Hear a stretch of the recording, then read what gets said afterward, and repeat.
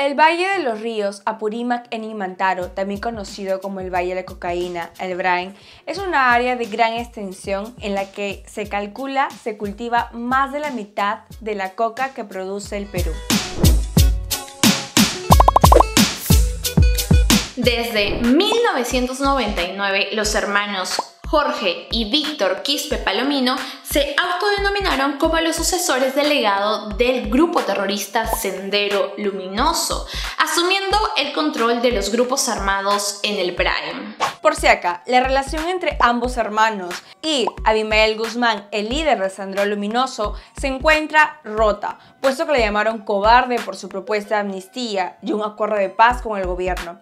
Es así que Víctor Quispe Palomino tiene su facción narcoterrorista autodenominada Militarizado Partido Comunista del Perú. Por esto, el gobierno entregó el control de la zona a las Fuerzas Armadas para luchar contra el narcoterrorismo, que a diferencia del narcotráfico, que es el tráfico o comercio ilegal de drogas en grandes cantidades, el narcoterrorismo es la alianza o cooperación estratégica entre mafias, narcotraficantes con grupos armados, insurgentes o terroristas como los Quispe Palomino.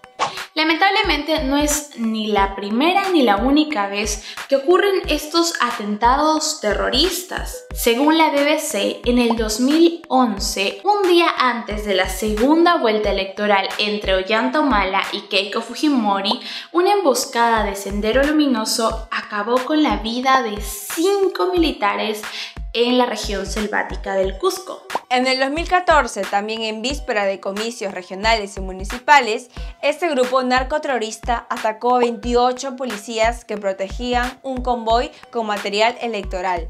Este atentado dejó dos muertos y cinco heridos. En el 2016, un día antes de la celebración de los comicios, se dio un atentado atribuido a Sendero Luminoso contra una patrulla militar que dejó 10 muertos, entre ellos 8 militares y 2 civiles, y también 5 heridos en el poblado de Atuncasa, en Santo Domingo de Acobamba. Además, este año, el 23 de marzo, a semanas de las elecciones generales del 11 de abril, se cometió una masacre en el pueblo de Huarcatán, en la región de Ayacucho. En este ataque fueron secuestrados y posteriormente asesinados cuatro miembros de la misma familia que conformaban los llamados comités de autodefensa, que son organizaciones sociales que velan por la seguridad de la comunidad y luchan contra la delincuencia. Por si acá, respecto a la masacre ocurrida recientemente, según el portal Ojo Público y Sudaca, aún no se determina si los responsables son los narcoterroristas al mando de Víctor Quispe Palomino.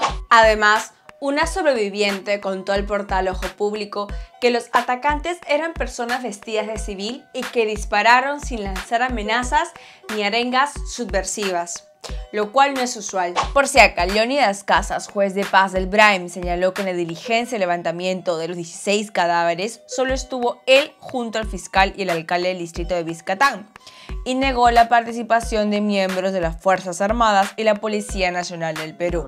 Ninguna autoridad militar, ninguna autoridad policial, digamos. Y eso que nosotros hemos ido a, conversar directamente con el coronel, con el, en, su mismo Apache en Pichay. Bueno, pues han desistido, de repente tienen pequeñas circunstancias acá que puede haber cosas lamentables más adelante. Bueno, pues no han querido de repente, nos han anulado. A pesar de que la tesis de la DIRCOTE es que los presuntos responsables son los narcoterroristas de la facción de Quispe Palomino, esto aún sigue en investigación. En las últimas horas, agentes de la DIRCOTE estaban viajando a Junín para investigar estos hechos. ¿Sabías lo que sucede en el Brain?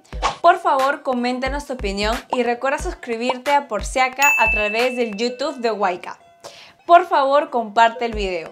Chao.